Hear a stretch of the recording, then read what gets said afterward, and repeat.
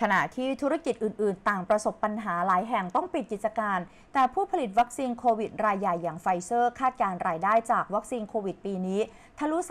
33,500 ล้านดอลลาร์สหรัฐ หรือประมาณ 1 ล้านล้านบาทค่ะ รายงานข่าวจากนครนิวยอร์กประเทศสหรัฐอเมริการะบุ ว่าบริษัทไฟเซอร์หนึ่งในผู้ผลิต และจัดจำหน่ายยา และเทคโนโลยีชีวภาพรายใหญ่ที่สุดของโลกจากสหรัฐ คาดการรายได้เฉพาะจากการจำหน่ายวัคซีนป้องกันโรคโควิด -19 แบบฉีด 2 โดส ที่พัฒนาร่วมกับบริษัท BioNTech ของเยอรมนี จะอยู่ที่ 33,500 ล้านดอลลาร์สหรัฐ หรือประมาณ1ล้าน1แสนล้านบาท สำหรับวัคซีนที่ไฟเซอร์มีกำหนดส่งมอบตลอดทั้งปีนี้จำนวน 2,100 ล้านโดส ให้แก่นานาประเทศที่ทำสัญญาร่วมกัน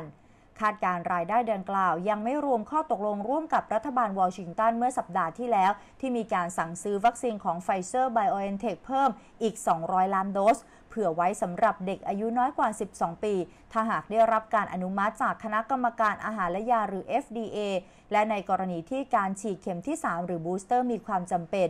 แม้ FDA และศูนย์ควบคุมและป้องกันโรคของสหรัฐ หรือ CDC จะให้ความเห็นไปในทิศทางเดียวกัน ว่า booster สำหรับกระตุ้นภูมิคุ้มกันต่อต้านโรคโควิด -19 นั้นยังไม่มีความจำเป็น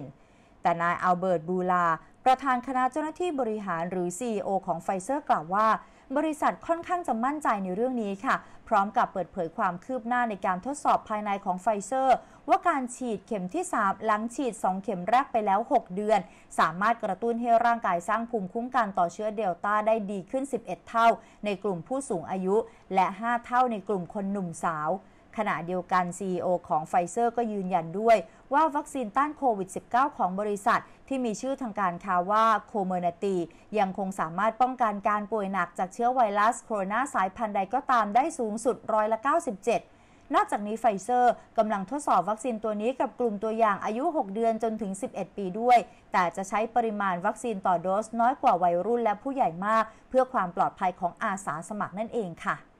รายการคนหลังข่าวจบลงแล้วนะคะ อย่าลืมกดกระดิ่งเพื่อติดตามจะได้ไม่พลาดทุกข้อมูลข่าวสารที่น่าสนใจ นอกเหนือจากนี้เรายังมีอีกหลายแพลตฟอร์มช่องทางออนไลน์ให้คุณผู้ชมได้ติดตามค่ะ ไม่ว่าจะเป็น Facebook แอปพลิเคชัน TikTok Instagram และ Twitter เพียงแค่ค้นหาคำว่าคนหลังข่าวเท่านั้นคุณผู้ชมจะไม่พลาดทุกข้อมูลข่าวสารที่น่าสนใจและทันสมัยอย่างแน่นอน ขอบคุณสำหรับการติดตามรับชมรายการค่ะ